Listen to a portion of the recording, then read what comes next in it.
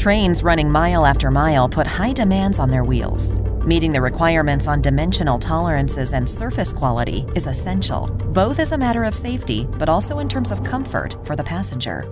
Producing finished wheels involves a manufacturing chain, including different forming processes, metal cutting, and testing. Blanks are heated in a rotary kiln before compression forged.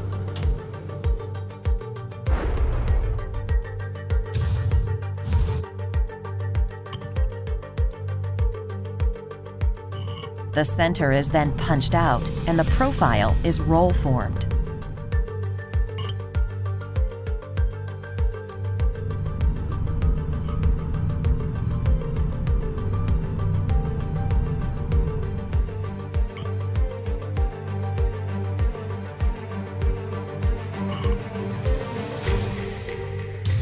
A bending process gives the wheel its final shape.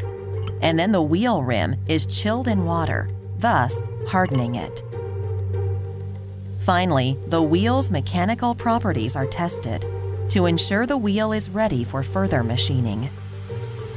To achieve required dimensions and surface quality, the hub, web, and rim on the wheel are machined. Round inserts are combined with over and under coolant for best performance and chip evacuation.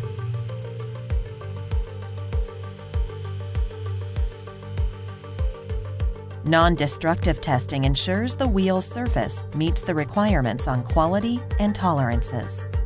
Then it's mounted on the axis, installed on the train, and ready for use.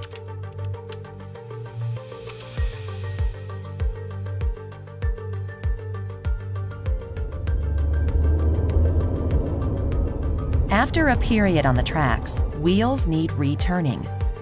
The train rolls into the machine shop where every flat spot, flange deformation, and crack is removed until the wheels are reset to their former standard, ready for another cycle.